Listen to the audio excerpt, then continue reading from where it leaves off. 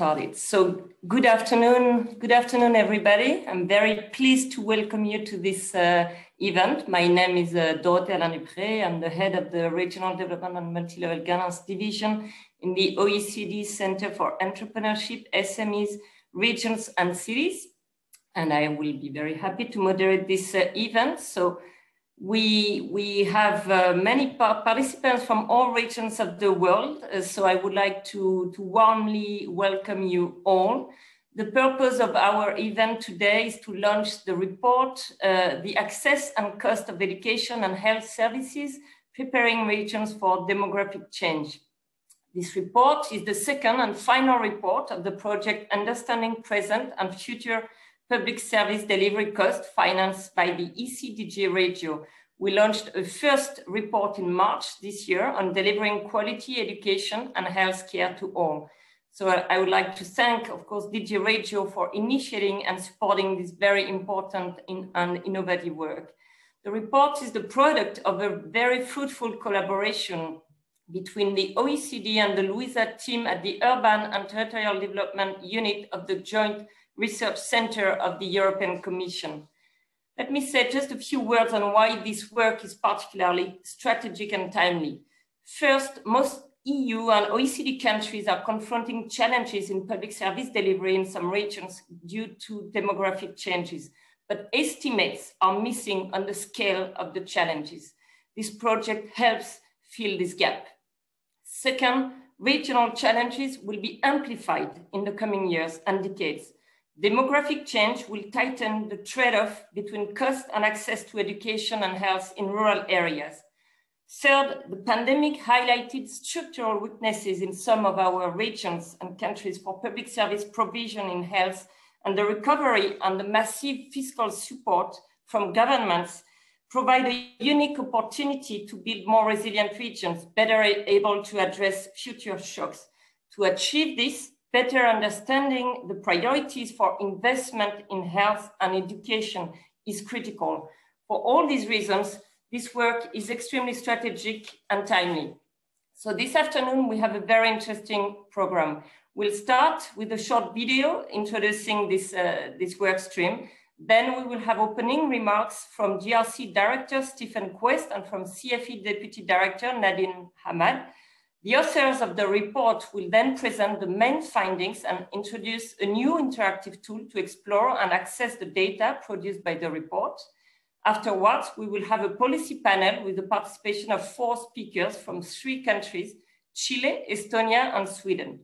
Following the panel presentation, we'll close with remarks by Sabrina Lucatelli, Vice Chair of the Working Party of Rural Policy at the OECD, and Lewis Dijkstra, head of the economic analysis sector at DG Regio.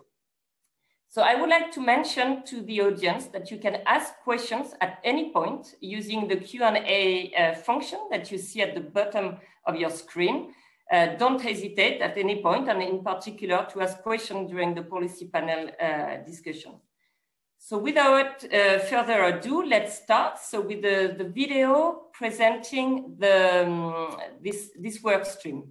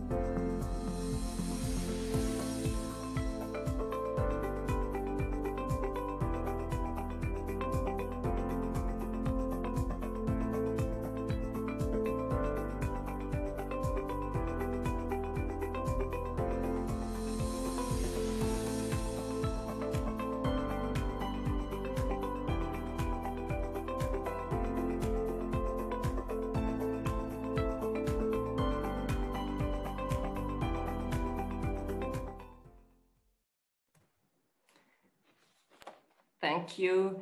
So we are now pleased to have a few introductory remarks by video from Stephen Quest, Director General, European Commission Joint Research Center.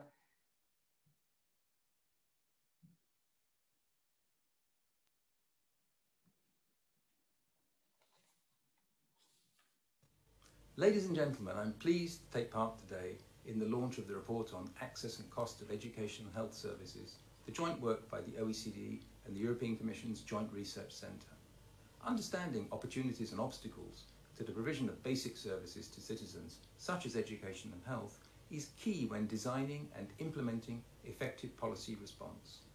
Hence, I'm convinced that this report can contribute to shape a fair and just recovery for all citizens in all the places where they live and work. There are several challenges for our territories in doing this. It's in remote areas and sparsely populated territories where the challenges are most acute and where the provision of basic services is under most pressure. There are trends such as depopulation, ageing, climate change, which have unfolded and which question not only the accessibility and affordability of basic services, but also the actual survival of the most vulnerable places. Public finances are also under pressure making it very challenging to find long-term solutions that would guarantee the provision of schooling and health services in regions where settlements are rare and difficult to access. On top of all of this, the COVID-19 pandemic is not quite over yet. So what then is needed and how can this report inspire us? Well, first, we need a territorial vision. Evidence shows that one solution does not fit all. Policy generates impacts on all territories, but in an uneven way. Therefore, the place must be at the core of our actions and policy solutions must be consistent and tailored to the characteristics of each place. Second, we need a holistic, integrated approach to planning. The more complex the challenges, the more important it is to ensure a coordinated response across different territories and policy fields. We should align all of our efforts so that governments at local, regional, national levels all act together in a coordinated way. And third, to transform vulnerable territories into attractive places, we need to mobilize three key enablers, innovation, education and culture, so they work together in ecosystems of opportunity and prosperity. Ladies and gentlemen, I believe that cooperation such as this one between the European Commission's Joint Research Centre and the OECD are essential to raise the knowledge curve for the benefit of all. And my thank you goes to the scientific teams who work hard behind the scenes of this impressive publication. I wish you all a very fruitful discussion. So I would like to, to thank very much uh, Stephen Quest and, and JRC for the excellent cooperation uh, throughout uh, the project. I will now give the floor to uh, Nadim Ahmad, Deputy Director in the Center for Entrepreneurship, SMEs, uh, Regions and Cities uh, at the OECD. Nadim, the floor is, is yours.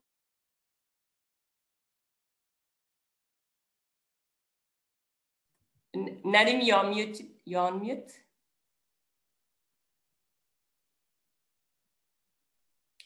Nadim, uh, you're no, on no, mute. no. I mean the the, the, the, fa the famous uh, the famous words that we now hear in this virtual environment. So, so, so many thanks, Dorothy. I, mean, I, I wanted to perhaps start by uh, using the de rigueur lines that we now have in this virtual world, in addition to you know you're on, you're on mute at the moment, to say good morning, good afternoon, and good evening to all.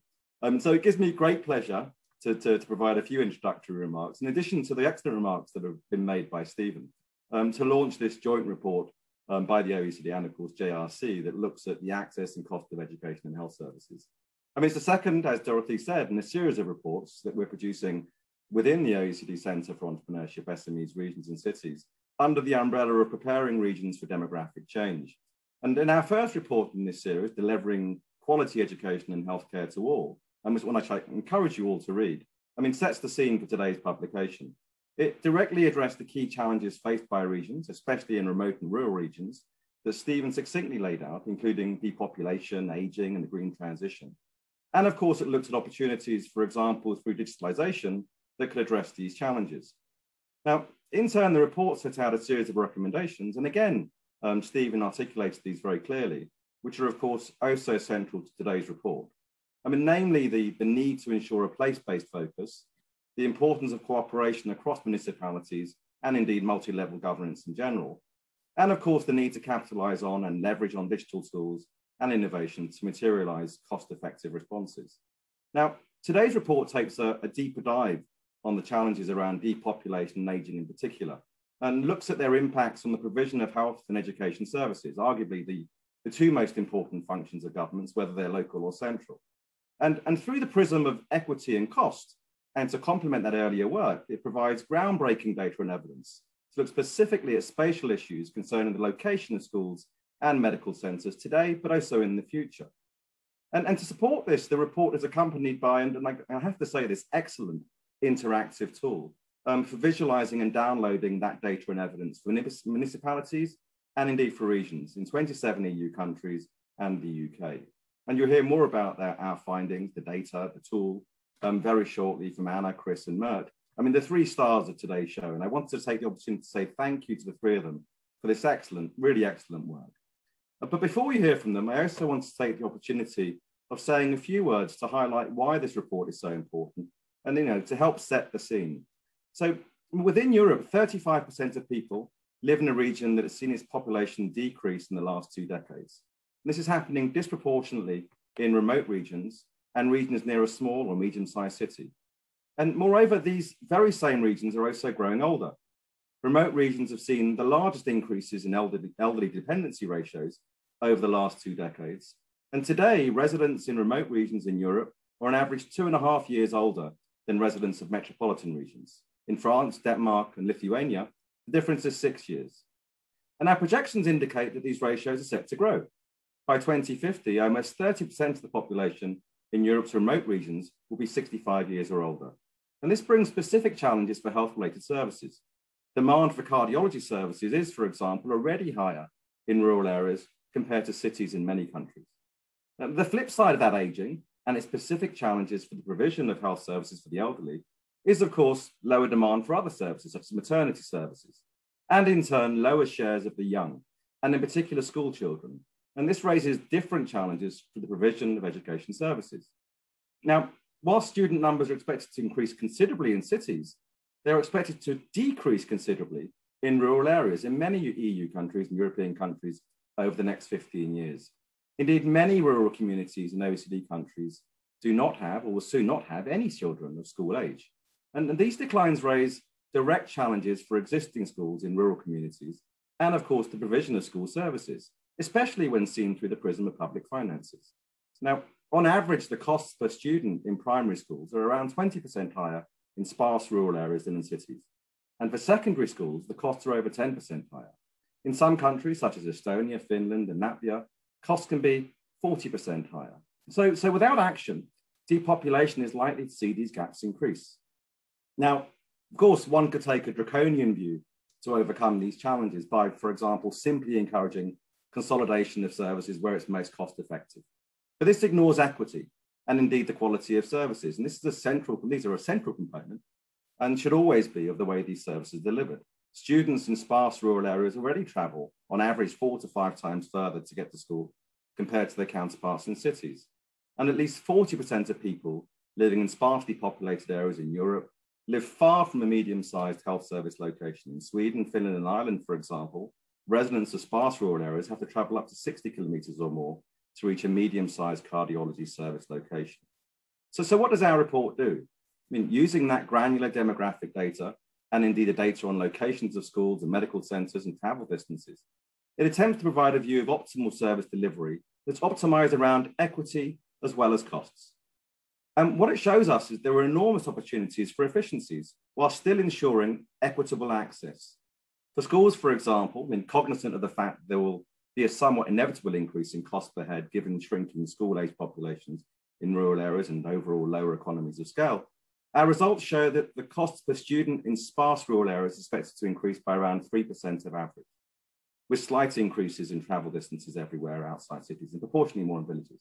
But, but that increase needs to be set against, against the counterfactual of no change in the location of schools where, for example, in primary schools in sparse rural areas, the increase will be twice as high, and in villages, 60% higher, whilst achieving only small accessibility gains compared to our projections. In countries expecting a sharp decrease in student numbers in sparse rural areas, the additional costs of not readjusting the school network to future demand can be much higher. 1,243 euros higher per student in Lithuania and 741 euros higher in Latvia.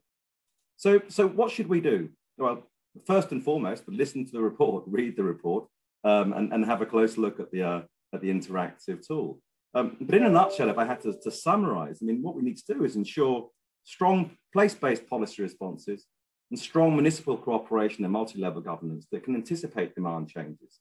These changes to design an appropriate supply side response that can balance equity and costs. Now, as I mentioned at the outset, today's report forms one in a series of actions that will be taken to help regions prepare for, demographic change. And there is scope to do so much more on this front. And this includes deeper dives in digital provision and other innovative ways to deliver services, looking at the green transition, and of course, looking at remote working. All of these have implications for the way that we manage demographic change and its challenges. And of course, there are needs and, uh, of course, continuing efforts to make sure that we double down on the data that can be used to support our evidence-based policy recommendations. And today's event, in particular the interactive tool, is an, exact, an excellent example of, of just why that data is so important. Uh, so with that, I'll end my intervention. Um, thank once again the JRC for their excellent collaboration and indeed thank the many others, including the delegates from the Regional Development Policy Committee for all of their excellent input and support for this work. And I wish you all a successful event. And with that, I pass the floor back to you, Dorothy. Many thanks for listening. Thank you. Thank you very much, uh, Nadim, for a very comprehensive overview and for highlighting that the report and the data set are, are really game changers to identify the scale of the challenges. And thank you also for highlighting some of the, the main policy recommendations uh, and solutions so I will now turn to the team of the, of the authors of the report. So Chris Jacobs Christiani, Mert Kompil from the European Commission Joint Research Center, and Ana Moreno from the OECD uh, CFE. They will present us the detailed findings of the report and will also introduce the visualization uh, web tool. So Chris, I think you will be starting. Uh, the floor is, is yours. Thank you. Okay. Well, thank you very much, Dorothy, and thank you everybody for, for joining us. Um, I'm Chris. Uh, Mark, can you please go to the next slide? Um, well, as already said by, by Nadim, uh, we are expecting big population changes in Europe, in most of the OECD, uh, and we are afraid of, that these changes might further increase inequalities between communities in those countries. Uh, and we are seeing two major population trends, um, population decline, aging, and we think that they will affect rural communities above all.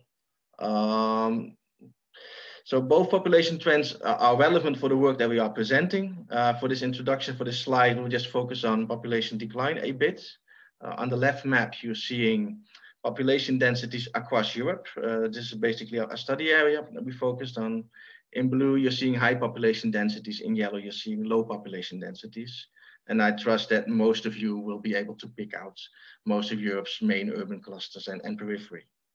Um, on the right map, you're seeing expectations of population change between 2011 and 2035. In yellow, places where we expect population increase. In blue, places where we expect population decrease. And it's quite easy to pick out substantial areas where we do expect population decline in, say, the Baltic countries, parts of Scandinavia, the southeast of Europe, uh, big parts of the, the Iberian Peninsula. Um, in fact, we are expecting that about half of the European territory is going to lose population. Uh, and we are expecting that the worst population decline is going to happen in places that already have very low population densities. So why is this relevant for services? Uh, services such as schools, education? Well, in areas with low population densities, uh, we're already seeing issues with service provision. Typically, people have to travel a lot further to get to the services they need. Uh, and the reason for that is scale. Um, services need a, a, sufficient number of users to be able to operate efficiently um, by a process that we call scale benefits. Um, that sort of skill is easy to obtain in cities where it's quite easy to get enough users within a small radius. So you can have cost efficient services within you know around the corner basically. In rural areas you need to have quite large service areas to be able to provide a service efficiently for users. And that means often that people will have to travel far to reach that service. Um, come aging and population decline, specific services uh, will see that their user base will thin, will be spread thinner throughout the territory. And that means that either they will suffer uh, in terms of cost efficiency, probably, or they will have to increase their service areas. Uh, so there's some major threats that we're seeing. Um, we therefore set off to quantify what these population trends really mean for service provision, right? Um, how costly would it be to sustain service provision at the current levels? Uh, or what would the travel implications be if if, if we rearrange our, our, our structure of services. Um, Mark, next slide, So only one slide on methods, please bear with me. Um, so the focus of this project is on four services, um, primary education, secondary education, cardiology, and maternity and obstetrics. Uh, we are interested in local costs and accessibility, and to understand that we need to have precise service locations. Unfortunately, we do not have uh, current service locations for these services uh, in, in most of the OECD countries. And obviously, we do not know future locations or costs of services. So we, we sort of do a modeling approach based on what we do know, what we can observe. Uh, so we do know service locations. In some countries, we know demand in, uh, in, local communities across uh, our study area. Uh, and we do know how well these local communities are connected with each other. Um, then we use the demand and connectivity of these local communities to try and reproduce the service locations that we know in, in specific member states using a modeling approach. And we then assess uh, how many people are using each of those services. Uh, using that, we modeled school and health locations across Europe uh, based on local demand estimates. And we did that for the current situation, and we did that for the expected demand situation in 2035. So from England, we actually have data on costs of education, costs of providing health services. And we use that to train our models and then have an estimate of how costly it is to provide services given a, a, a user base of a specific size. Um, so we use those health records from and, and, and those cost records from England to, let's say, make a model that assesses how expensive it will be to, to run a service uh, given a, a, certain user base. Um, we compute those cost estimates for the current and the, in the future situation. Uh, for schools, we did an additional variant where we also estimated the cost if we would maintain the current uh, school network what demand is changed, uh, right, for the 2035 levels. Uh, and we were able to map on a quite granular level uh, what the cost implications and the access implications are of, of fixed or not fixed school and, and, and health locations. Um, so those mapped estimates are done in a quite flexible way, allowing us to aggregate our results to any sort of geographical scope or geographical perspective. Um, and we've used those results, uh, those summarized results to, to give us some of the conclusions that we wanted to present today. Um, so without further ado, I would like to give the floor to Anna, who will talk us through some of our main findings. Thanks. Thank you, Chris, and hello to friends and colleagues in the audience. To discuss the results, let me first start with education and then I will move on to healthcare. Next, please. So for education, with the methods uh, Chris just described, we obtain estimates that we can aggregate from a micro level, say from school and students, to the degree of urbanization, for instance, to understand geographical differences in cost and access. As an example, the figures in the slide show you the cost and distance estimates for secondary schools, and you can clearly see that both variables increase as density decreases. So this trade-off between efficiency and access really gets tighter in sparse rural areas. As mentioned by Nadim before, we actually estimate that compared to cities, annual cost per student in sparse areas are 20% or translating into euros 700 euros higher for primary schools and 11% higher for secondary schools. And this cost difference can be actually way higher, over 40% higher in countries like Estonia, Finland, and Latvia that have high sparsity. These are in a way estimates of the unavoidable cost of smallness and remoteness in the sense that these cost differences are purely driven by geography and demography. And it is relevant to note here that previous stories had mentioned that costs and distances were probably higher in rural areas, but until today, we really had no precise estimates of this gap. Next, please. From a local perspective, the results show that in some countries, many small municipalities already have or will soon have only small schools that are spread over a large area and that run at very high cost per head. The graph that you see in the slide shows that more municipalities will face this issue in countries that have more municipal fragmentation, such as Greece and Spain, compared to other countries that have undergone a process of municipal consolidation, such as Estonia and Finland. From a policy perspective, consolidating schools can help reduce cost, but it also requires ensuring adequate transport for students that in many cases already travel long distances. In this sense, in assigning funding and responsibilities, should, policy should really consider both sides of the coin, cost and access, uh, especially in rural areas. Next, please.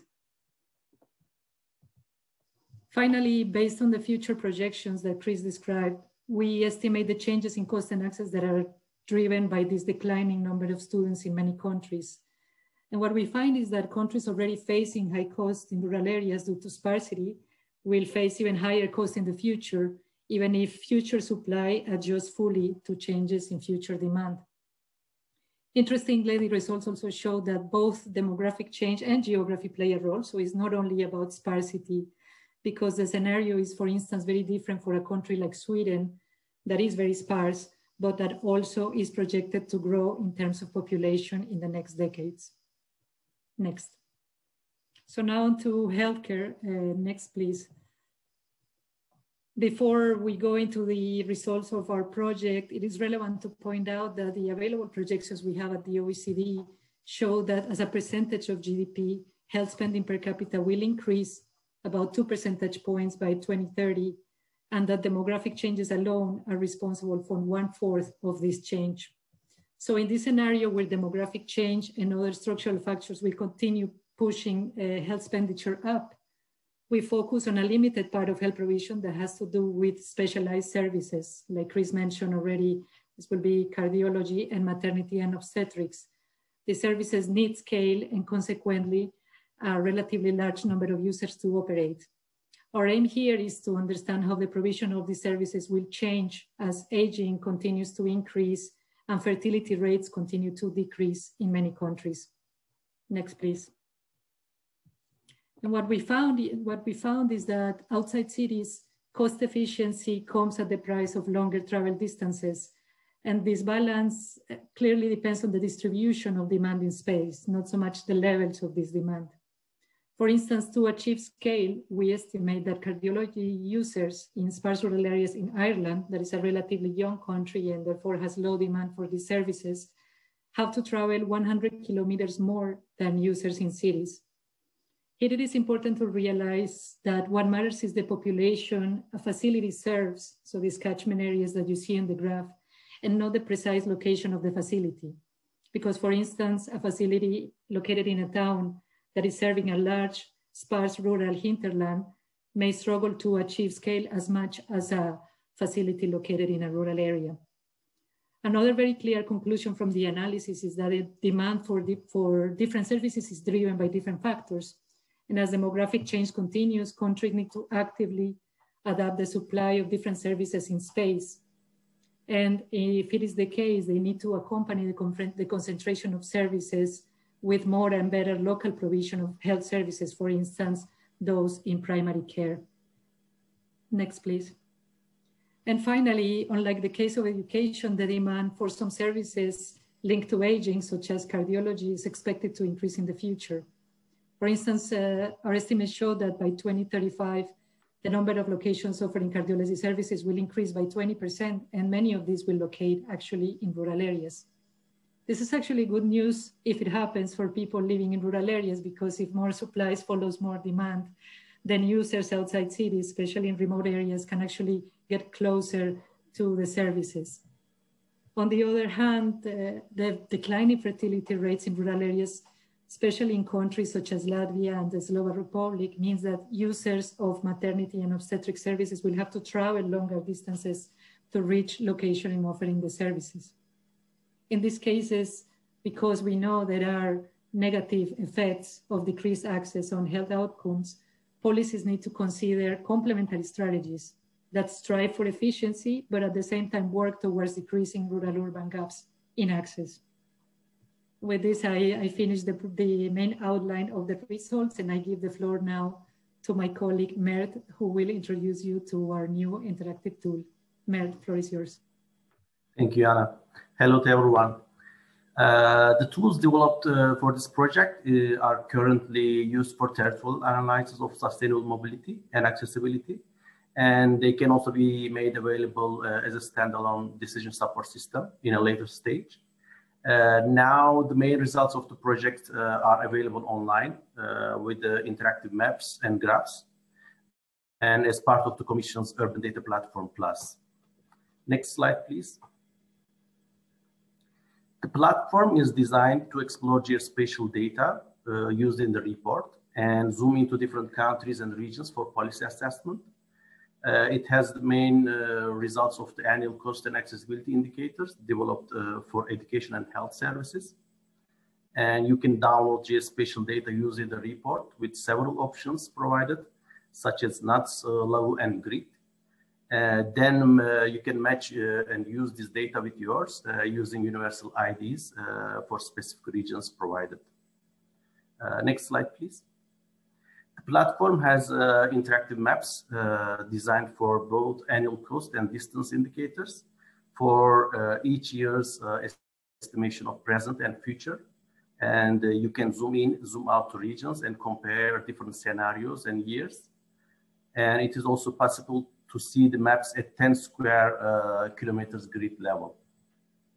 Uh, next slide, please. Uh, graphs are also to explore the same indicators uh, interactively per country and this time per degree of urbanization. You can additionally see annual cost versus distance, for example, uh, per degree of urbanization in a separate graph. Uh, all these features and more can be seen at our dedicated page. Uh, we have included also a short video that describes main features of the platform. So thank you for listening.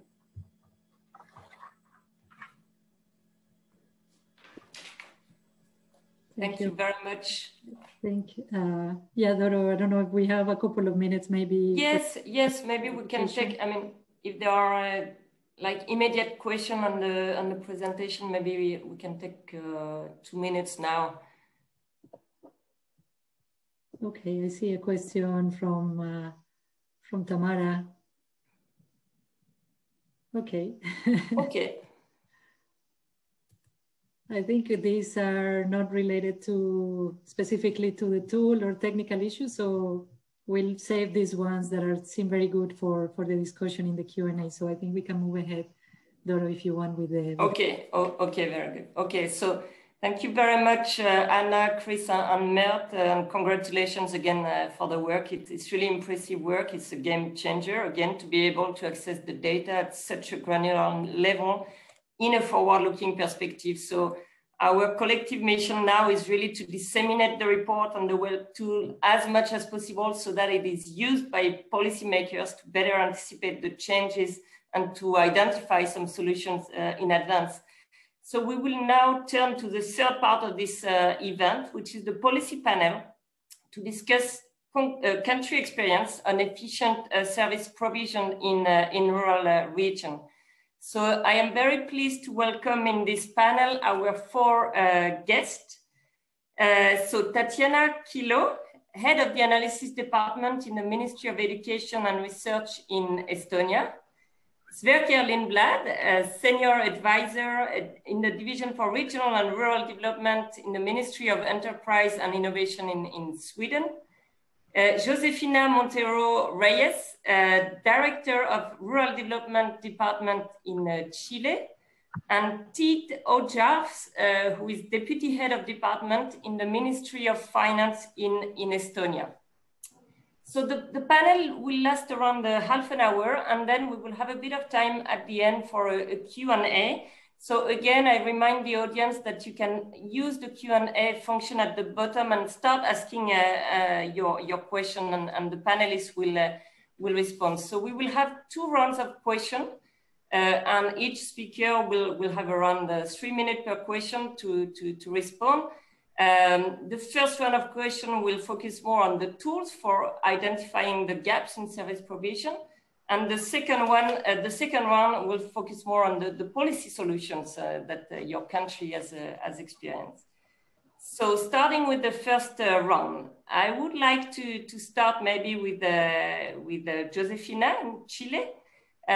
so in, in Chile, are there data systems in place to identify people at risk of service under provision access and cost of services and, and rural uh, urban quality gaps. Can, can you tell us about the Chilean experience? Thank you, Dorothy, and thank you, everybody. Um, we're really happy to be here and, and share uh, the Chilean experience with, with other countries. And uh, related to this question, uh, Chile have recently approved a rural development national policy which seeks to improve the quality of life and opportunities of all the rural inhabitants. Uh, we have big gaps between rural and urban uh, municipalities when we talk about service provision. And it is fundamental for us to work in collaboration with the different public institutions and also with the private sector and the civil society to, uh, to uh, get, and get little gaps in these services. Different national service uh, allow us to identify this kind of information, but we usually find the problem that they are not representative in rural levels. Part of the work we are doing uh, because of our rural policy is the creation of an indicator system of rural quality of life that is built with official information at municipalities level. This system gives us a territorial view of the rural areas in the four dimensions of the rural policy. The social welfare, economic opportunities, environmental sustainability, and culture and identity. Perhaps we can identify the access and quality of rural inhabitants to most of services provision with this new system. We hope to measure the impact of this public policy and its implementation. And also it is important to keep building more kind of data and grow in the representativeness of rural territories.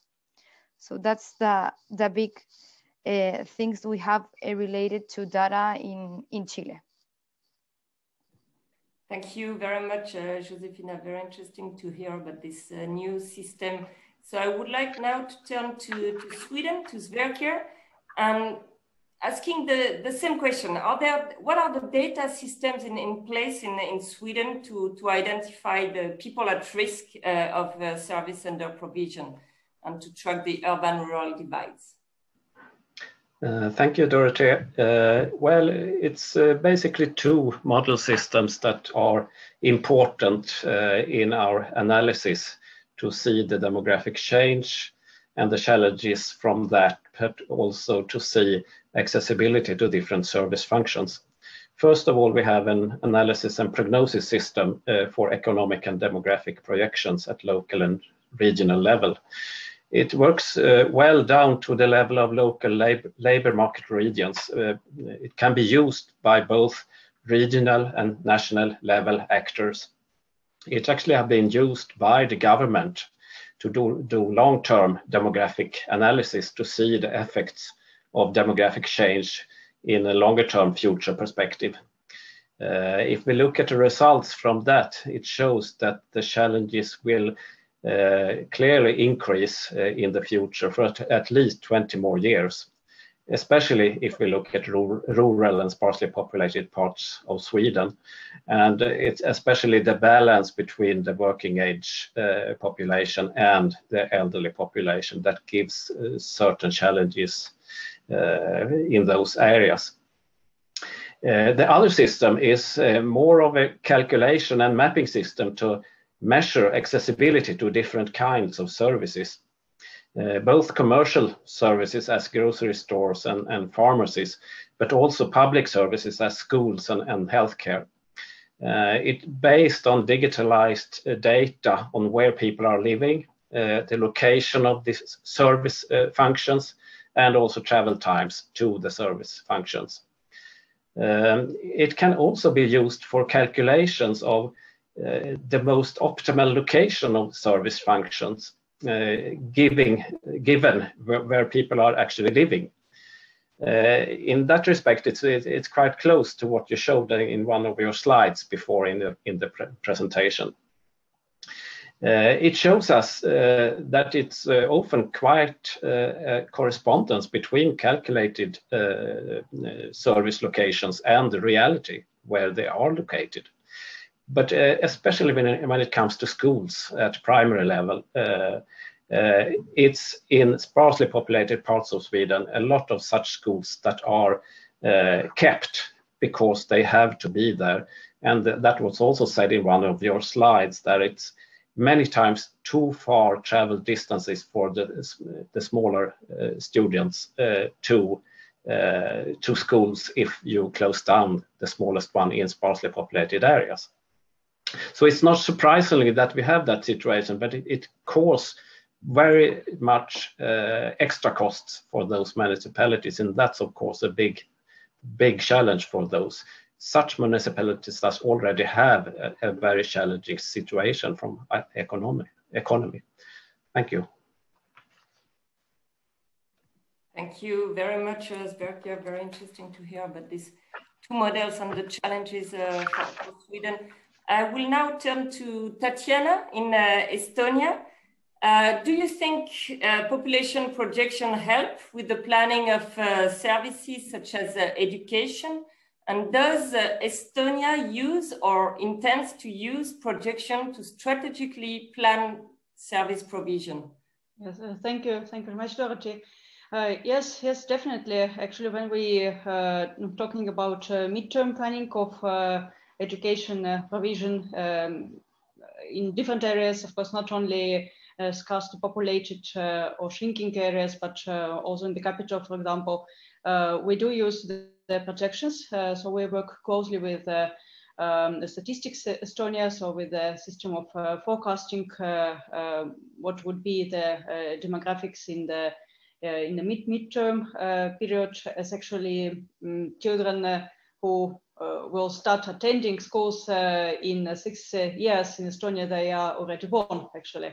Or maybe, of course, they could be uh, Uh, some migration uh, from other countries, uh, increasing the demand for, um, uh, for, for, for educational schooling places, uh, and of course, um, migration which can also decrease the demand, but overall picture is um, something that we can already use to forecast the, the demand in different areas for schooling places.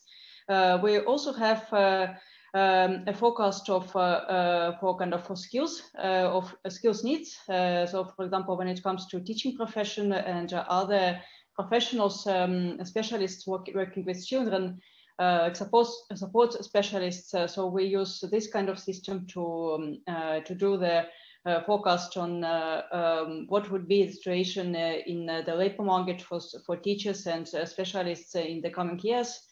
Uh, and uh, uh, we do have a lot of this data, but what I would like to stress is that of course, the use of data is something uh, um, that maybe uh, kind of uh, we should consider as, um, for example, in Estonia, with a very decentralized education system where the school owners are local governments, it's not maybe the question of availability of data, but the question of what would be the conclusions that uh, each and every local government would, uh, uh, would make uh, out of the data. And uh, sometimes uh, when looking at data, people can arrive to very different outcomes in their judgment. so I would, what, I would like to stress is that um, it's not about the availability of forecasts, but but uh, uh, reaching the common grounds on decision making uh, in uh, on different levels, the local governments level and uh, the uh, state level, for example, and the local governments also as a kind of um, owners, of course, if we don't have the common grounds uh, when making the decisions based on data, then the decisions could be very different. so that's, um, um, I think these are the kind of the same two, two sides of the same coin, actually, uh, uh, when we work with uh, data for strategic decision making. Mm -hmm. Thank you very much, Tatiana, and thank you for reminding that indeed it's not only about the availability of, of, the data, but how they are actually shared and used and communicated across all levels of, uh, of, of, government. And uh, I would like to, I think some of the practices that you, the data collection that you mentioned for Estonia are, are very inspiring for a number of uh, OECD countries. I would like to maybe follow up with uh, Josefina in, in Chile to, to understand uh, in Chile, uh, does Chile use a projection to, to plan a service provision? Well, I think that all kind of information is relevant when we talk about public policies and public services provision, because this is a guidance for the correct implementation of initiatives. And also it gives you an idea of the necessities of those territories. So it is easier to apply a bottom to top approach when you have uh, that information.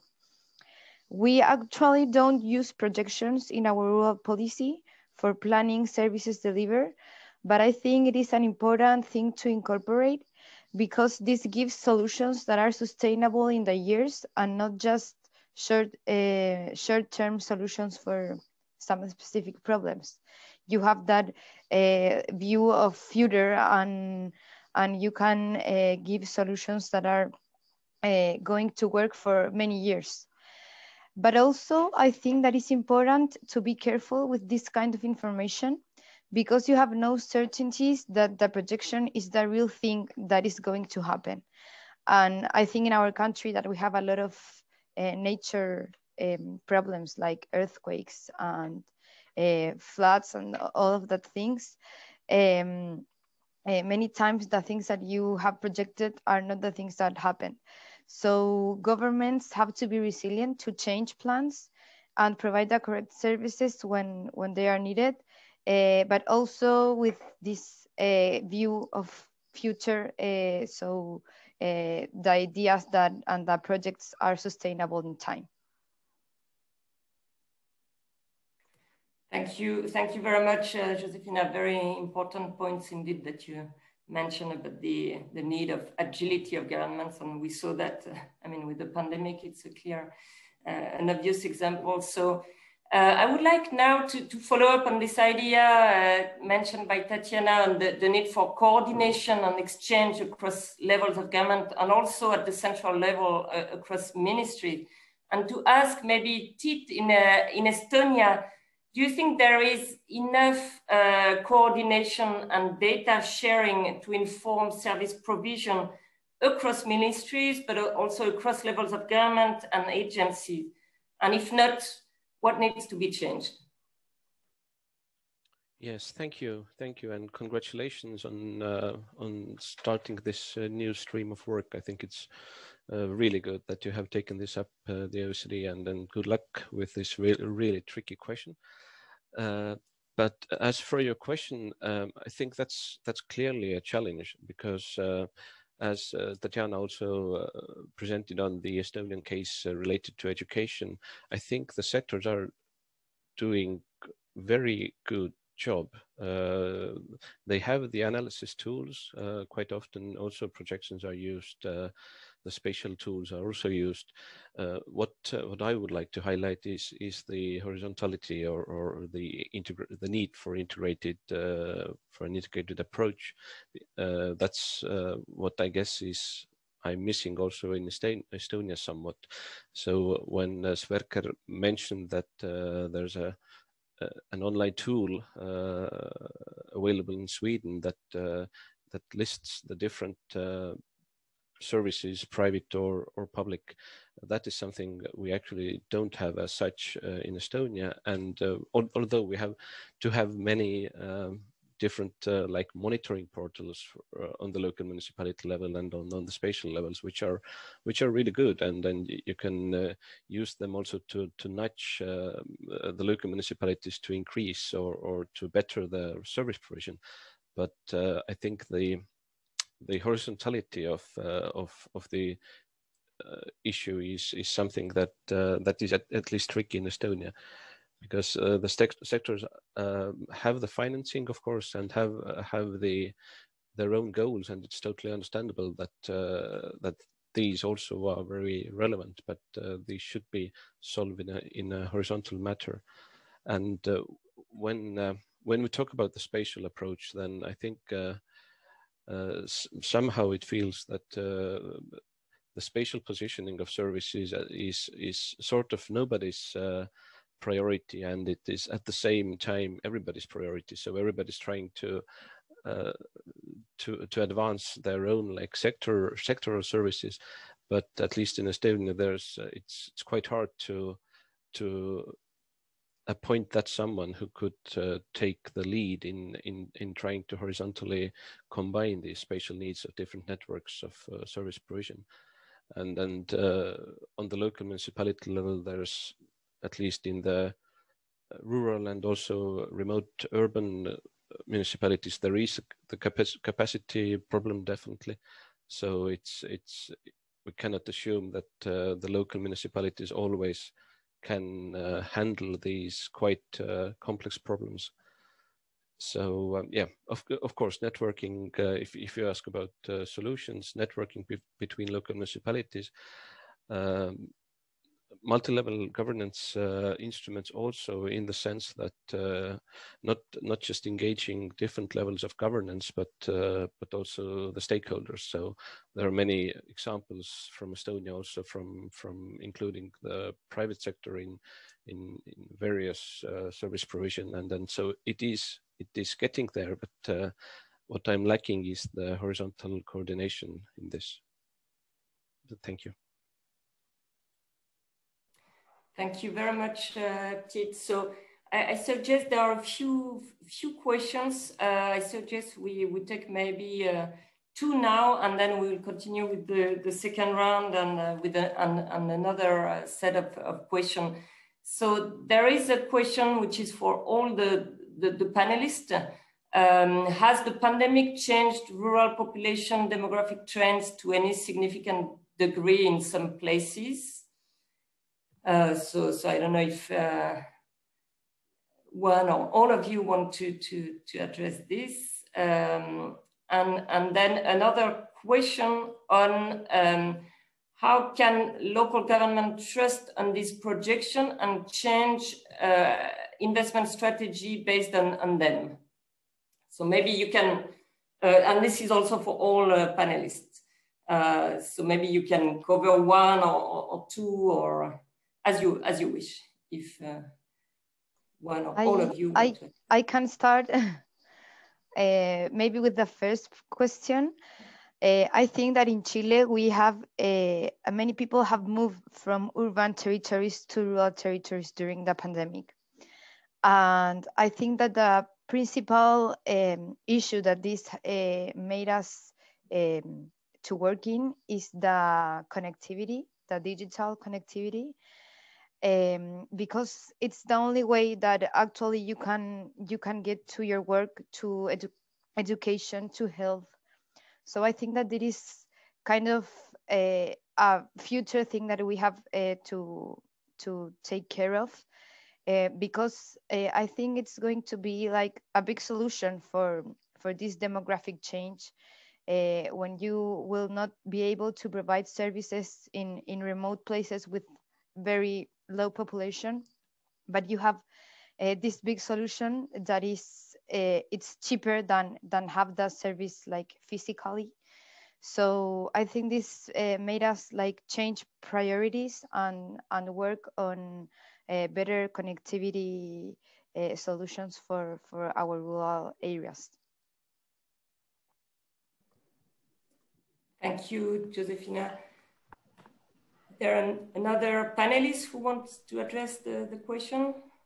Well, I can also uh, uh, reflect on, on the question on pandemic because it's quite interesting. In the short term, I think that it will not affect very much the very remote regions of Sweden. Uh, those areas that will be uh, affected and, and maybe have some possibilities out from the pandemic is those little, with a little longer distances from bigger cities. Uh, we can uh, already now see that uh, the, the, the, migration patterns uh, have, have shown that. Uh, also um, uh, looking for houses and, and, and maybe living in secondary homes ha have increased very much in those areas. Uh, but another interesting thing with, with the pandemic is that we actually have had a full-scale uh, experiment with distance uh, distance learning and distance schools uh, that have been practiced, and and um, uh, maybe the experiences in Sweden at least have not been so positive from that because it seems like the physical presence are quite important, especially when, when it comes to, to the smaller students, uh, but also when it comes to secondary level schools.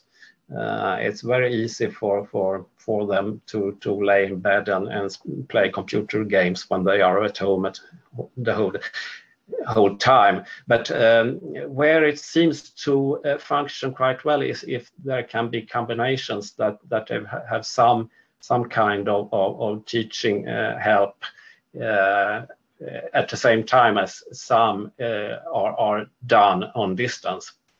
That might be, be solutions that could also uh, take uh, with us for the future. Thank you very much, uh, Sverker. Mm -hmm. Very interesting uh, points indeed. Mm -hmm. Tatiana, do you want to react? Mm. yeah, thank you. Uh, I just wanted to kind of go to echo or to uh, to add uh, to what has already been said that um, very similar trends. Uh, so uh, again, it's a very small country actually. So when we talk about distances. It, it, it kind of roughly in two hours um, or three hours drive, you can kind of reach from capital whatever place in Estonia we have, maybe except for islands, which requires a bit more a different type of transportation.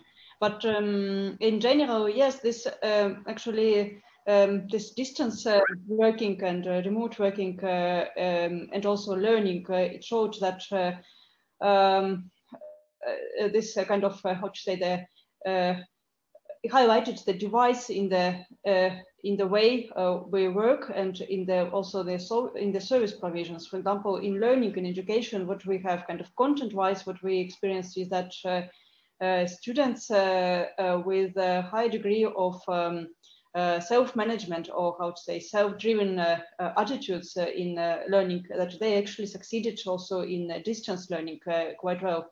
but the uh, kids or students uh, with a weaker social economic background, uh, um, uh, with, for example, weaker parental uh, support, uh, and um, they are those they were those who actually um, required much more help and attention from from teachers.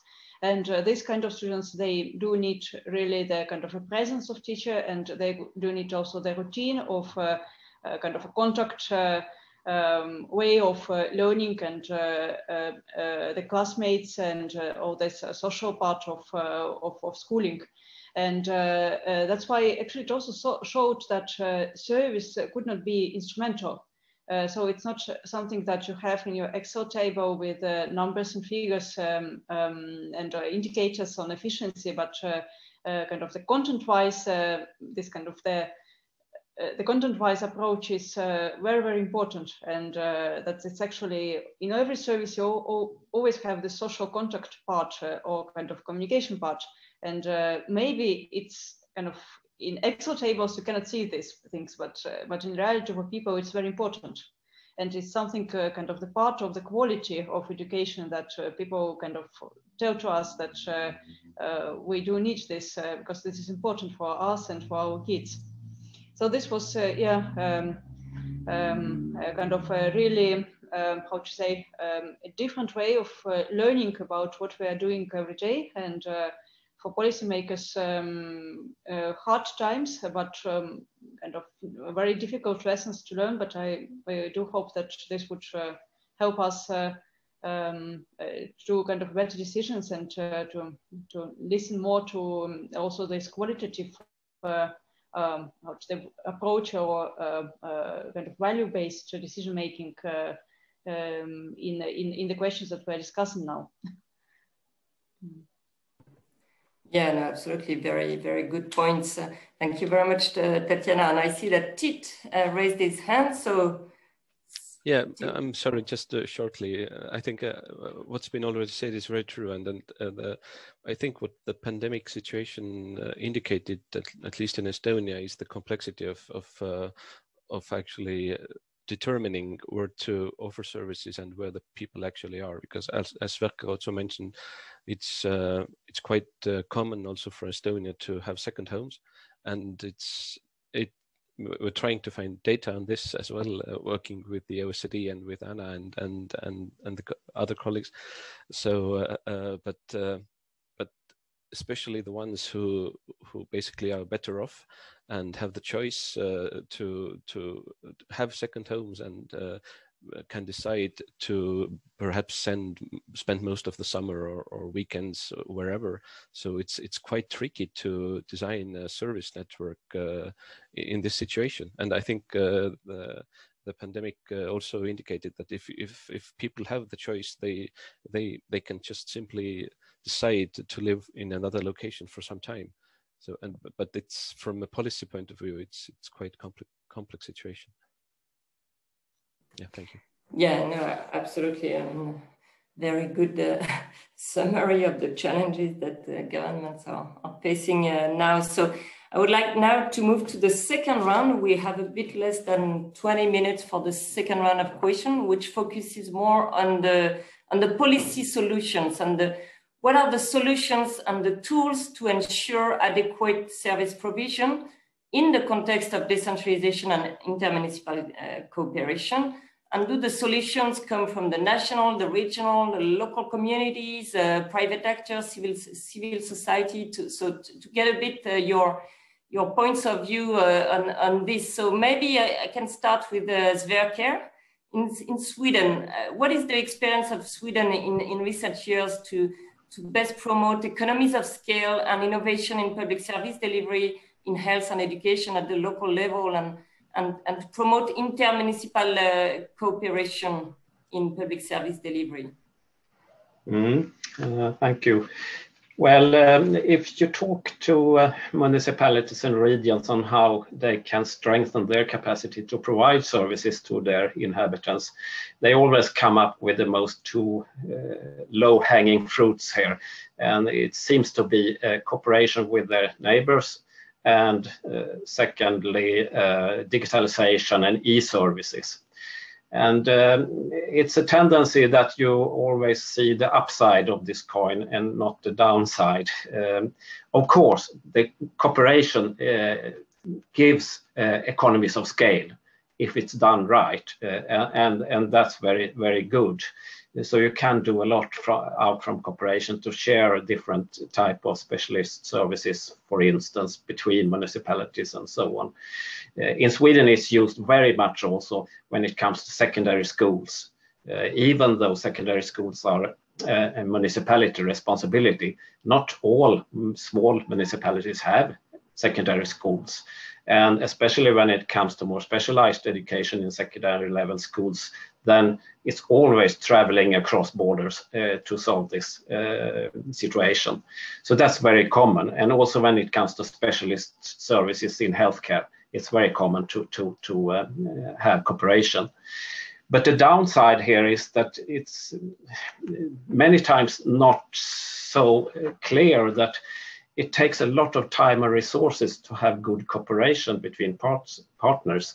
Uh, time uh, also is uh, critical when it comes to, to find the right partners, to have trust between the partners. It's also a problem when it comes to uh, changes over time. It could be a, a, change in political leadership in one of the municipalities, and the basis for the cooperation can uh, go away with that, or a different economic development in, in municipalities. That's also a, a challenge here it's also a challenge out from from democratic point of view. It's not always clear for inhabitants in in a municipality who is responsible if the other another municipalities are doing tasks in in, in the even though uh, the, the the principle is clear that it's the home municipalities are are responsible. Uh, so uh, it takes a lot of time and resources, and time is also clear uh, challenge to to to handle.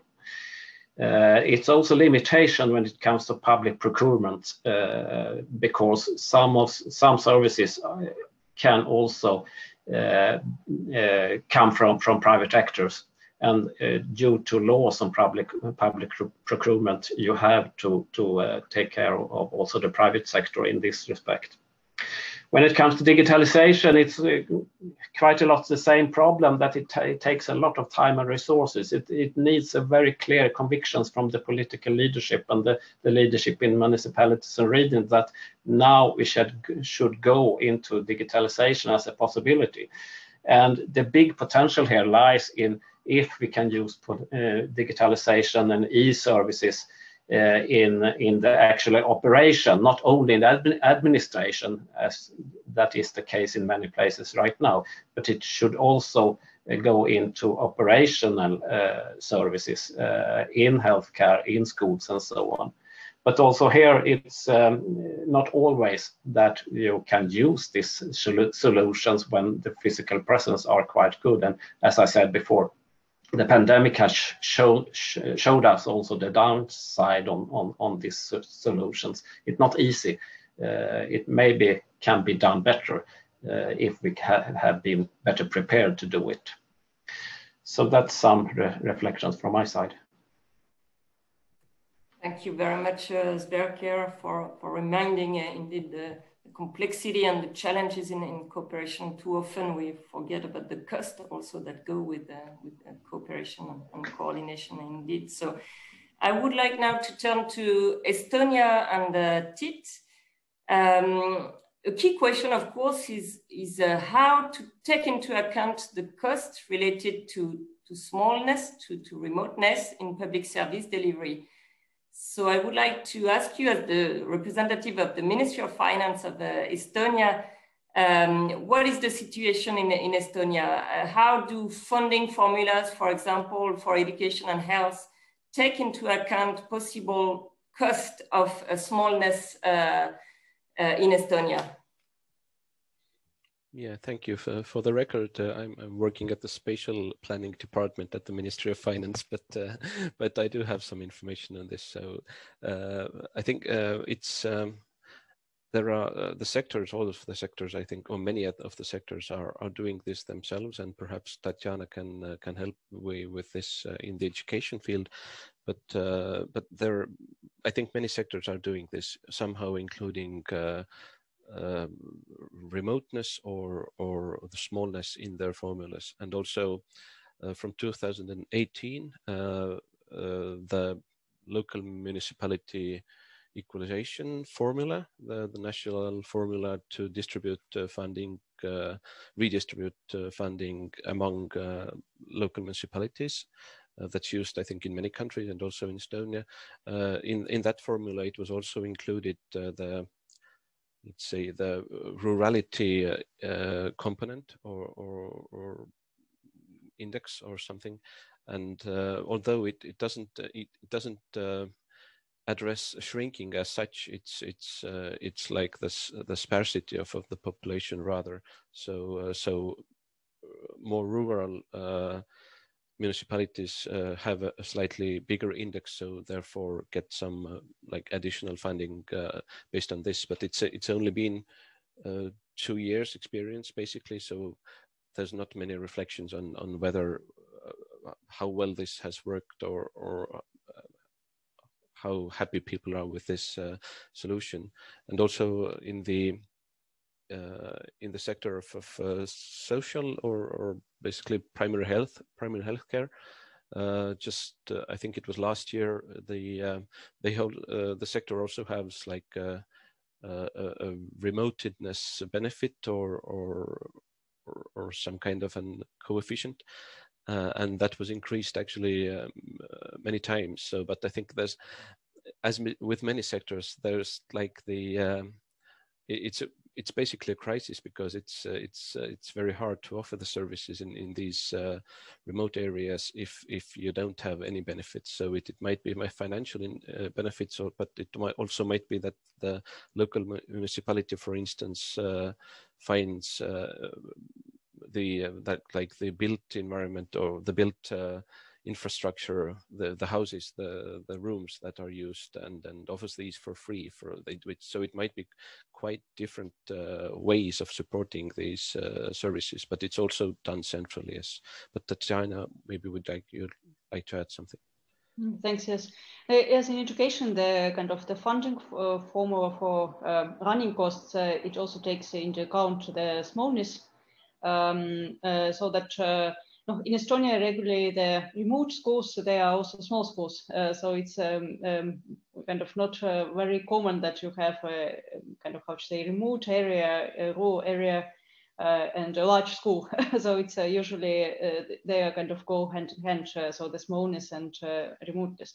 And actually, the um, situation now is that, yes, for the uh, uh, kids uh, grades one to six go to kind of first stage and second stage. So this one, the first grade to sixth grade, the formula actually um, and also the legislation allows to have um, kind of special solutions where you have really small classes and uh, um, so the teacher's salary and everything is actually um, kind of guaranteed and uh, funded uh, and uh, uh, in, but from the policy and also from the perspective and also from the quality considerations, we have we are now kind of finishing the reform of school network where we supported the um, um, how to say the centralization of the upper secondary education. Uh, so upper secondary, are grades uh, 10 to 12. It's not the compulsory level, so it's after the basic education. And uh, for uh, Uh, for this uh, uh, for, for, this reform, we actually assumed that there should be uh, at least one uh, state upper secondary school in each county, so in each region, and that it should actually be um, kind of a large institution in terms of the number of students and the offering of elective courses and actually with a kind of different how to say the uh, so that there should be some choices uh, uh, among the subjects and uh, uh, uh, specialization at, at, at, this level. And in this reform, we worked very closely uh, with uh, all local governments. Uh, so there's kind of things for this kind of reform. We um, kind of we had always the agreement under the the project, so that we agreed together with local governments that we would consolidate the upper secondary education uh, and uh, the local governments would focus and get investments to um, to invest into the basic education schools and network.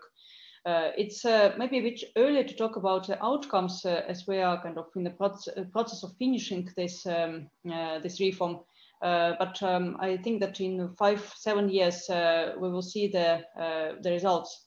But again, uh, when we started planning this, of course, the situation, uh, demographic situation was not so kind of harsh, but uh, uh, already you know, 10 years ago, we saw that if we look at the forecasts uh, of what would be the number numbers of number of young people in the areas, that this kind of this kind of change or some kind of steps they are inevitable. Otherwise, it would be really very difficult to have uh, kind of to continue provision of high quality upper secondary education, which is expected to prepare for higher education in really small places and really remote schools, because they would be just number of kids uh, or students wouldn't be enough to um, uh, to provide uh, kind of to, to have uh, all the teachers' places covered uh, and also like specialized teachers with kind of focusing on the concrete subjects or subject areas. Um, so yes, this uh, um, again, these are kind of the value-based uh, the decisions. Uh, so we, uh, we um, Estonia in Estonian education strategy, we say that this the beginning of education pathway. so the first six grades, at least, they should be close to home. Uh, possibly kind of how to say more comfortably accessible by kids and by, by their parents uh, so that they should be really kind of uh, they could be might be very small schools uh, but located close to homes but with the kind of with this age and increasing difficulty of curricula and kind of when curricula become more demanding also in terms of teachers and infrastructure then we see that at some point the kind of there should be some centralization of, uh, of school network. So just to have this quality also, quality setup guaranteed. Uh, so, but this is a step by step and uh, based also the content-wise considerations of what, what is required for high quality education. Thank you very much, uh, Tatiana. Very interesting to, to hear about the, the Estonian experience. And uh, I think fiscal equalization systems are, are are a good way to take into account the, the differences in uh, for the small and, and, remote municipalities. But, but of course, we know that there is a strong inertia in uh, reforming fiscal equalization, and it's uh, it's also uh, uh, sometimes very very challenging. I would like to ask um, Chile, Josefina. Um, do you think to to go back a bit to this question of having differentiated fiscal or government governance tools to, to adapt to specific conditions of uh, rural, remote, uh, small municipalities. Do you think small municipalities that are projected to become smaller require a, require a differentiated governance or uh, and fiscal approach for public service delivery? Thank you, Dorothée. Well, first of all, I think that the Chilean reality it's a little bit different from the European. In our country, we have uh, 263 rural and mixed municipalities. Um, this is uh, the 83% of our territory and uh, that 25% of the Chilean population lives in these places. So I think we're not uh, still facing like these extreme small municipalities that you have uh, in Europe.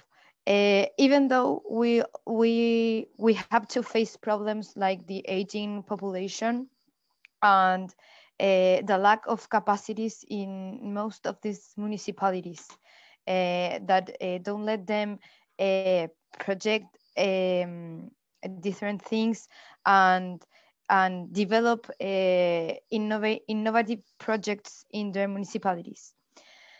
Um, when we talk about um, how we take uh, into account the remoteness, remoteness in the public service delivery in our country, uh, we have a social evaluation system um, for all the public uh, projects and initiatives that are developed in our country.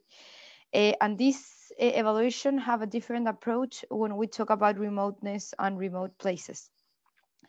The evaluation is usually centered in cost benefits, uh, but in, rural cases and in basic services, uh, they are measured with cost efficiency so that they can assure that the, the delivery of that service in that specific sector um, just taking care that it's like the cheaper one. Um, in other hand, in Chile, we have a national policy for lagging zones uh, that is uh, developed by the um, uh, interior minister uh, that are um, is related with the rural remote areas.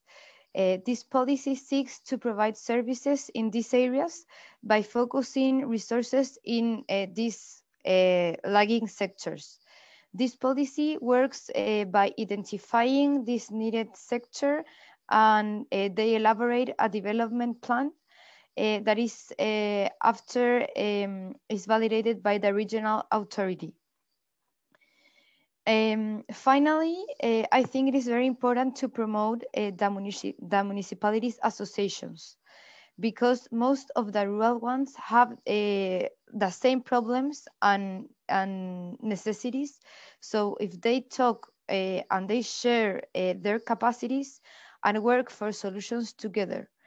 Um, I think this kind of collaborative work is a great solution for smaller municipalities that usually lack of human capacities and like specific specialties. Um, and it's something that we are promoting in our country and we have uh, already a good um, good experience with that.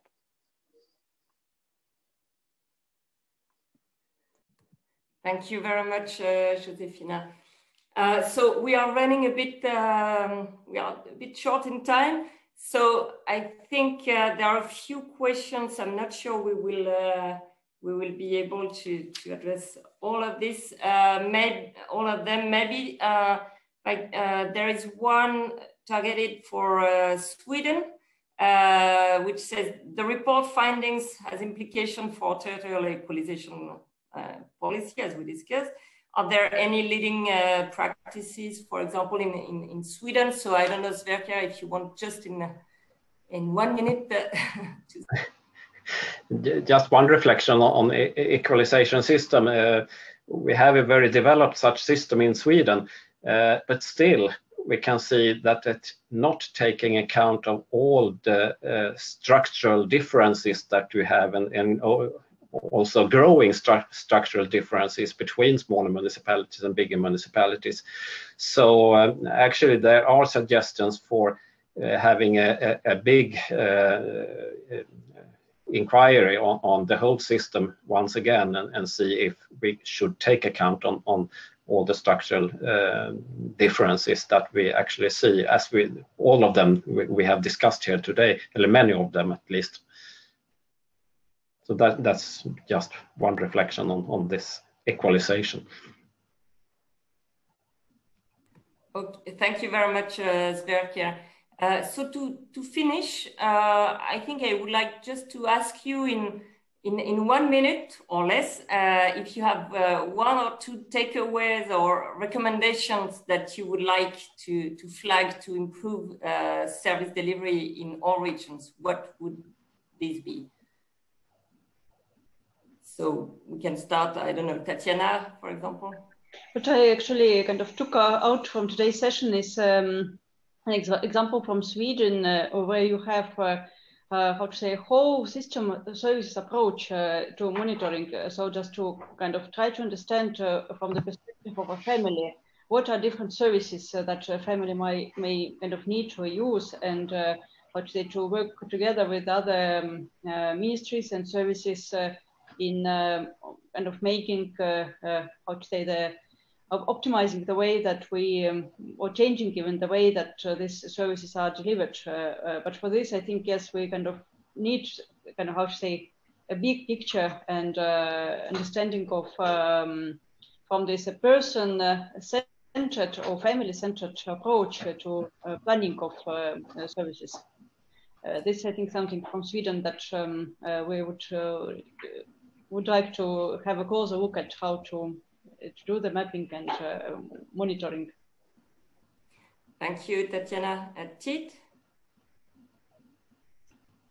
Yeah, thank you. I think uh, one thing I would like to highlight is that we shouldn't uh, forget uh, the importance of uh, small urban uh, centers. So I think uh, if we talk about service provision, then we must bear in mind that the, the remote urban areas are also shrinking, but they are of key importance in, in service provision in, in remote areas. So think that's that's one thing I think we should always bear in mind that it's it's not uh, rural that is shrinking; it's also the smaller urban areas. And and another another thing that uh, that's always it's quite tricky when you look from a policy uh, policy level, but uh, uh, the uh, when we when we use the word uh, spatial spatial I don't know interventions or spatial approach, then we actually need to go quite low. We actually need to look at the buildings as well. So we have to combine different services in one building, and then we have to look at the long-term sustainability of of the investments in these uh, uh, places and so on. So that's it. It uh, the spatial dimension is also it's it can be at at uh, at the regional level, but it has to be at also at the quite local level. But thank you, thank you for this uh, discussion also. Thank you very much, Tiit. Uh, Sverker?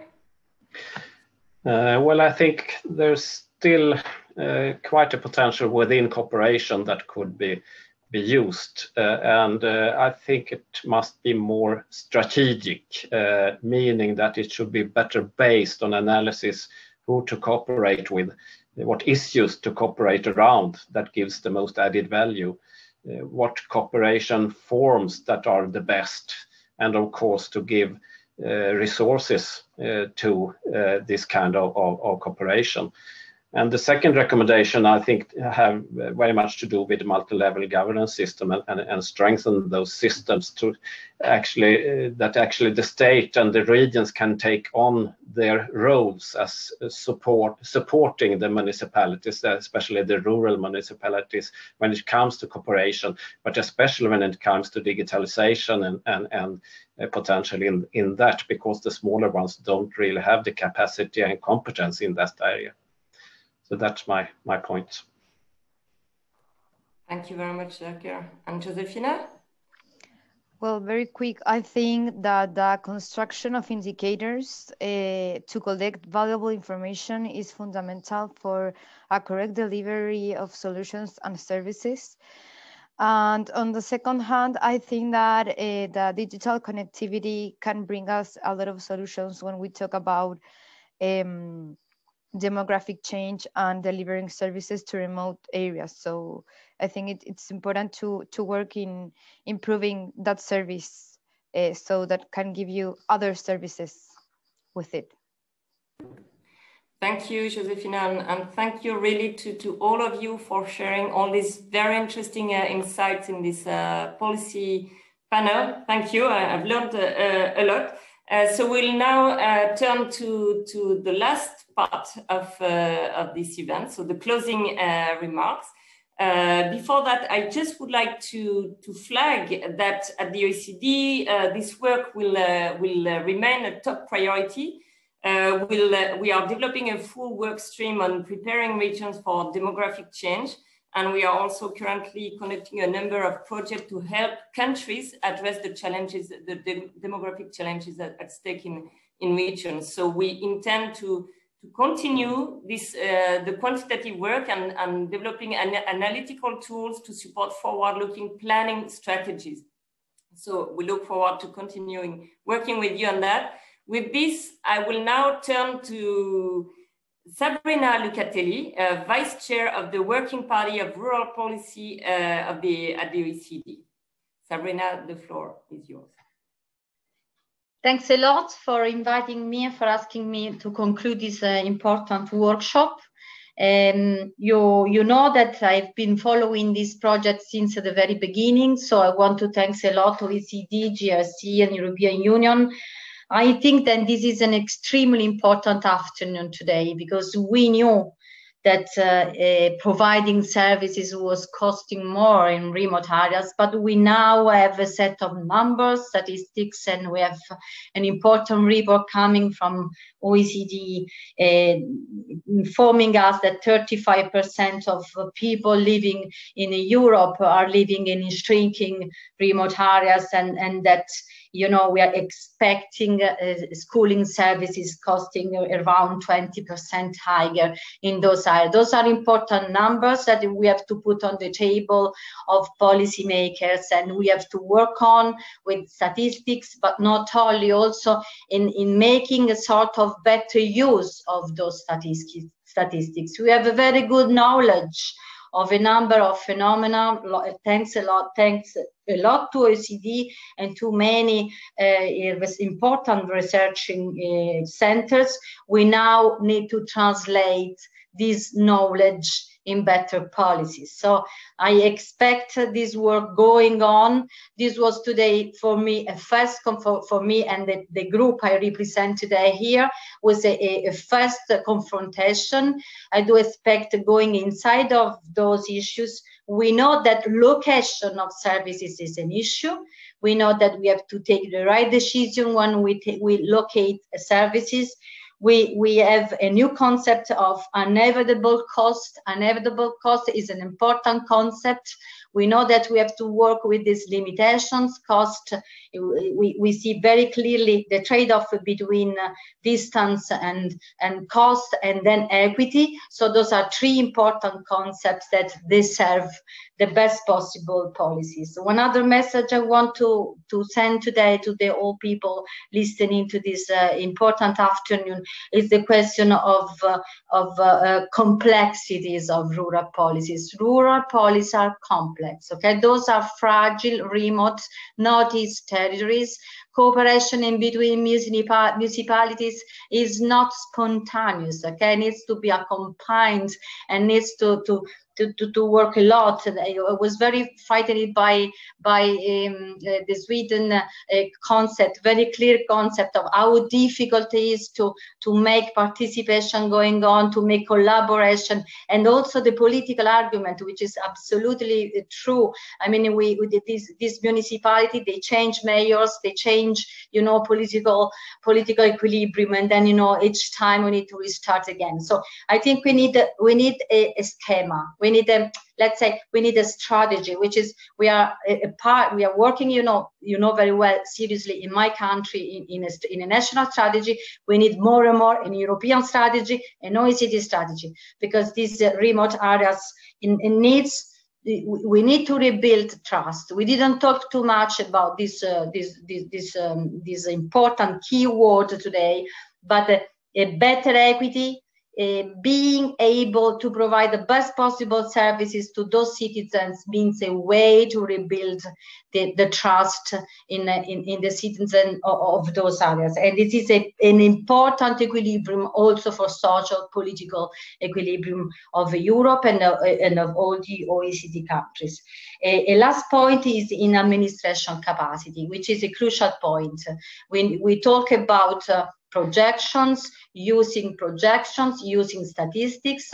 We, we all have to invest in very good administrations at central, regional, and local level. So the quality of administration is a crucial point in this in the argument we are uh, doing today. And then the last point is on uh, understanding how I mean those kind of policies are difficult to to, to build up and to work in the territories. Just two arguments. Consolidation. Consolidation of schools is very difficult. The mayors, they tend, they want, each mayor want to keep his school. So if we have to, to go mm, mm, through this concept, we have from one side to take into consideration the geographical aspects and from the other side you know accompanying and seeing that I mean it's such a difficult decisions is a part of the country decision to improve the, the wellness of the whole citizen so we can we don't have to leave them alone to take such difficult decision first part. Second part, maternity. We know that we, we are expecting having less kids, but we cannot invest, you know, in rural policy, in, in a small equilibrated world, in a better distributed people in, in different countries without, you know, finding solutions, hot spots hospital, doctors moving, you know, we have to invent, we have to innovate, but we have to, to, to be, to, to, to, we have to guarantee to a young woman living in a remote areas to being able to, to have a, a good pregnancy and to have birth to his kids. So this is a crucial aspect. Thanks a lot for to OECD. I put all the availability and uh, you know the willingness of Italy to work with you to go on in the, in this uh, activity and for sure of the, the group I represent today. Thank you. Thank you very much, uh, Sabrina. And, uh, and now, last but not least, for the final words, I give the floor to Lewis Dijkstra, uh, who is the head of the economic analysis sector in the Directorate General for Regional and Urban Policy in the European Commission. Lewis has uh, launched and supported this work from the OECD and JRC uh, since the beginning. So Lewis, the floor is yours. Thank you, Dorothée. Um, I really enjoyed this workshop. It's been the culmination of uh, quite a few years of work. And what I love most about this workshop is that we're looking at things from multiple perspectives, right? We're not looking at education and healthcare as a way of reducing costs. We're looking at it to find a balance between costs and proximity, accessibility, making sure we provide a, a, a good proximity to everybody uh, in, in our territories. We're not looking just at the situation today, but we're looking at the changes that are to come. We're looking at the situation tomorrow. We know certain changes will happen. We think we know which other changes will happen. You know, the, the, the age composition of your population today already tells you a lot about what you can expect tomorrow, you know. If you don't have any kids between zero and 10 now, well, guess what? You're not going to have any teenagers in 10 years from now. You know, some things are relatively predictable. And it's it's important to think that through because we're all in our own way in charge of long-term policy, long-term investments, and thinking about how to improve a, a better quality of life. We looked at density, we looked at remoteness, We've got the accompanying policy report, which I recommend you look at as well, looking at how we can combine face-to-face with online uh, education or healthcare to kind of help that um, along. I also wanted to highlight one more point. Um, I really thought the the slide showing both the situation and from a point of view the size of a settlement looking at the degree of urbanization and towns and villages on the one hand and combining that with looking at the size of municipalities political entities is, is very important.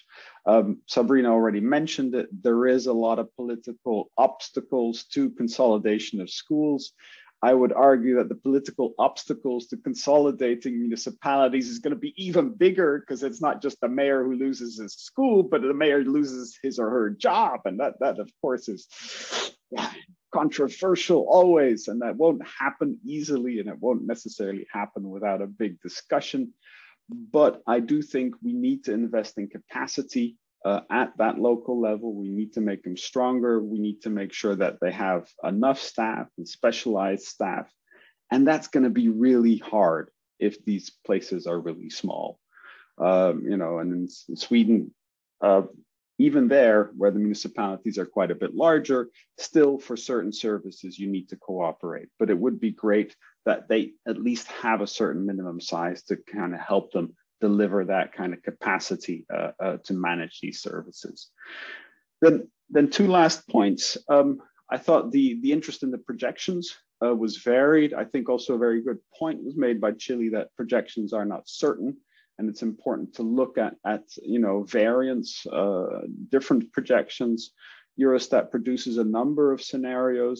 Um, you know, there's a central one, but there's one where we assume lower or higher fertility or no migration.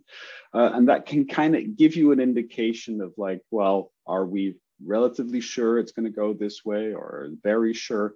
And that can kind of help us to understand and use those projections in, in our local and our regional plans. But I really think it, it's crucial to do so but it is something that not all local administrations are are experienced doing so and this is why i think this online visualization tool is so so useful and so important that people can actually see what uh, the consequences are for their area and they can zoom in on the places that they're interested in because otherwise it becomes you know abstract and, and, and difficult to, to understand. My last takeaway from this uh, workshop is the need to get better data on the location, not just the public services, but also of private services. And this is difficult, this is challenging, this is not uh, uh, something that we have readily available.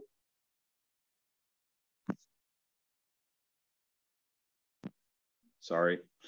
Um, and so we need to find ways of doing that in a way that we can reliably know when does a service open, when did it shut down, we can't rely on commercial providers which just list all the services that have been present in a building and have no clue which ones are still there. You know, we, we need to have a more rigorous, tried and tested approach to identifying uh, these services, particularly in remote and rural areas where commercial providers may have less of an incentive to make the necessary investment. So I really think that's critical. Now, I've talked too much. Wanted to close off with some positive news. Um, Tiit mentioned the importance of smaller urban settlements, and I couldn't agree more. These can often be anchor points, key locations for access to services. And that's why I'm very happy to announce another joint project with the OECD on the role of smaller urban settlements in uh, the wider rural and regional development of a region. So there we're going to be looking at, do these smaller settlements, if they really are a regional center, are they more likely to provide services and how can we build a policy around that to improve access to services uh, for everybody? that's it for me. Thank you very much. Thank you very much, Lewis, and thank you for the finishing with this good news. So thank you all for your participation. Uh, the meeting is now over. I wish you all a very good evening or rest of the day. Thank you.